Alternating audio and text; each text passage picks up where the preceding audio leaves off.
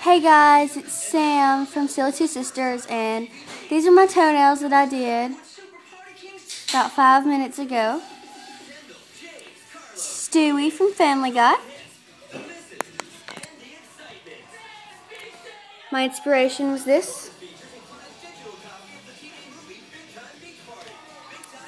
I think it looks pretty good, except for that kind of messed up.